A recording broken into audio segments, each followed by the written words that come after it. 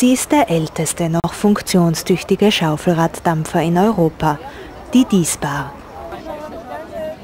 1884 ist sie das erste Mal die Elbe bei Dresden entlang gefahren und das tut sie bis heute.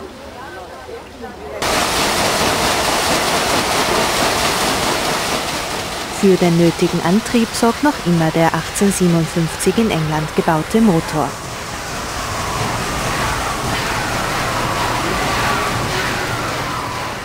Als das Schiff 1884 neu konstruiert wurde, hat man einfach das altgediente Triebwerk wieder eingebaut, denn es lief halt so gut. Und dass es das noch heute tut, dafür sorgt Michael Lomatsch, der seit 30 Jahren als Maschinist auf der Diesbar Dienst tut. Und das mit Begeisterung.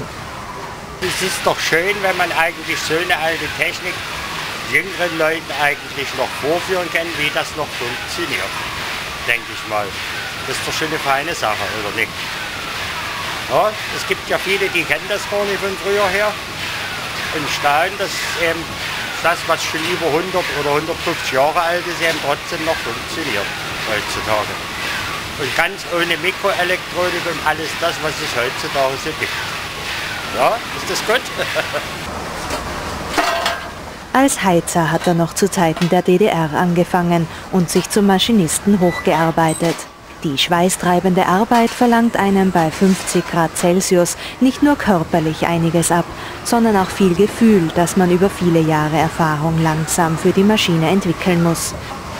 Das war in DDR-Zeiten war das eben so, da gab es alte Maschinisten, die haben auch von früher und von die haben wir das eigentlich praktisch, haben wir als Hetzer angefangen und dann haben wir bei die Alten zugerufen und die haben uns das dann gelernt. Man hört eigentlich so wie die Maschine läuft, das hat man im, im Gehör, äh, wie, wie das klingen muss, die Geräusche. Ja, und wenn irgendwas nicht stimmt, das, das hört man oder man fühlt es. Ja? Man ist trotzdem vor Überraschungen nie sicher. Es gibt, kann immer wieder mal Sachen geben, auch wenn man so lange dabei ist, die, die man noch nie mitgemacht hat. Ja? Verhältnis muss man ein gutes haben, sage ich mal. Ein menschliches Verhältnis zu einer Maschine, die, so scheint es, mitunter menschliche Züge, Ticks und Eigenheiten an den Tag legt. Und sie verlangt viel Fürsorge.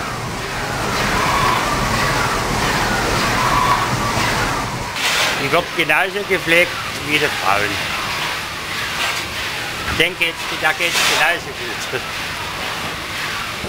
Und wenn es nach Michael Lomatsch geht, wird der eigenwillige Dampfer auch noch die nächsten 120 Jahre die Elbe rund um Dresden befahren, angetrieben vom beständigen Auf und Ab der Schaufelräder.